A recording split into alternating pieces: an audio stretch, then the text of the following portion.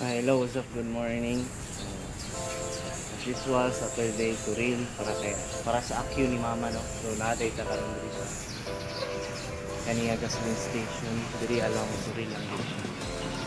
So si Mau Mau ato ang ipawashing niya. Diba? 10 pesos lang.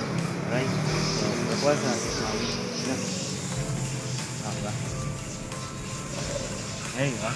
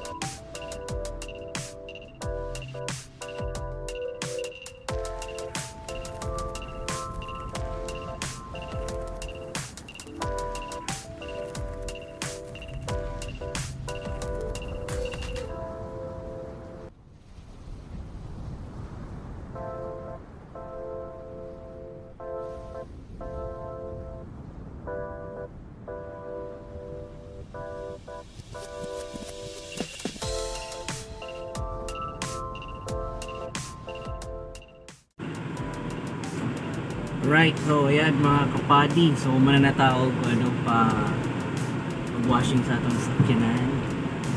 Siyempre, 10, 10 minutes total o 30 minutes siguro all in all. So ako ang pang bloom and shine kay Maui. Gamitan na itong VS1 no? so, karon gusto lang ako i-share sa inyo ang routine ako pag once na namin to reel. Mag-vacuum, mga, mga kapadi no? Since na short feed lang ni siya kay wala pa tayo upload upload. Gumikat kay medyo busy pa. Medyo hectic pa ang oras pa naman. Ako ay content ko na una unahan so nailami diri nga kuan uh, putumaya. Gusto na ko i-share sa inyo barato lang po 5 pesos. So tag 5 pesos lang yun ang ato ang mga mga expense karon. So 10 pesos ganina sa washing. Ya kita na mismo nagpa nagwash para in case o mag-ulan unya katuloy problema no dili kay sakit sa buot di ba? Right so at least 10 pesos lang tong ato ang gi-spend na kwarta. Alright so panaplin ta sa mga lapok-lapok basa-basa yan so check na to tong ginapalitan ako 5 pesos na putumaya. Let's go. So ayan nanata diri sa may corner no? Crossing along wala ko kabaloon sa street basta turil ni siya so diri dapit tong manit o putumaya syempre 5 pesos lang men dami tayo hmm.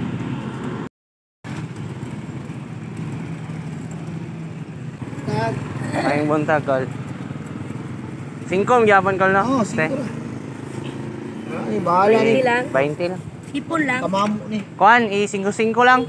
Magkama.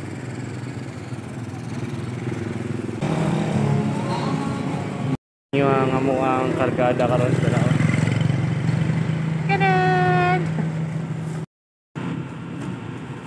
Alright, so mo na ni, bali 20 pesos na po tumaya. Lamig kay ni siya men, lamig kay ni parisan og kape. So syempre ato na punta karon sa Shell. Dito along highway lang, so dito ko gatambay, kay dito ko nagakape. While waiting kay mama, kay si mama kuha na ko around mga 7 kapin. So it's already 6:45 in the morning mga kapadi. So God bless sa inyong tanan. So ato sa Tag Shell no.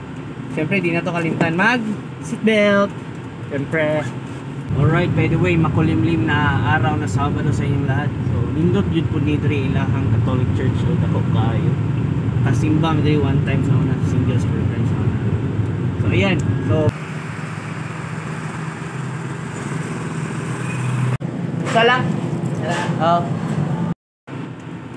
So, ayan, apparently wala na ipandisal. Siguro kay medyo late na. Pero actually, safe naman. Usually, maabot po din ibang mga around 6 papalit pa ko kanisa lami kayo ta sayang kayo. Pero kanina lang ko ipalit. Photo gyapon ang si tawagan nasa inyo. Comment down below kung saan ni para ni kay mama. Let's go!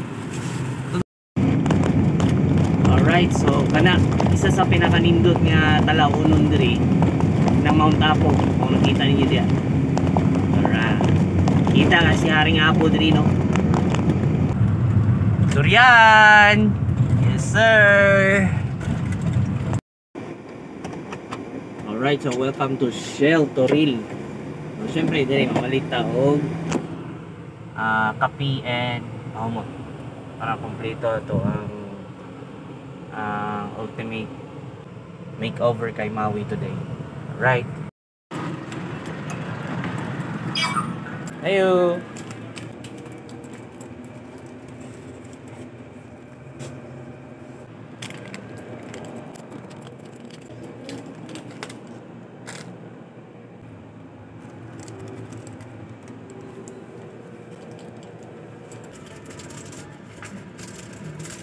Right, lemon para humot.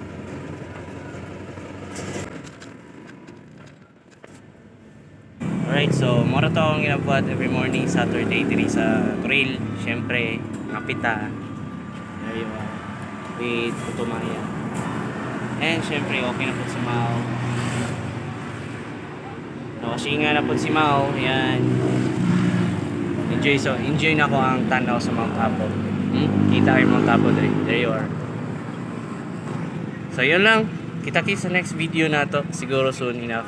Full vid. Kaya short vid lang man eh. Alright. So God bless sa ato ang tanan. Don't forget to like and share. Subscribe. Sir.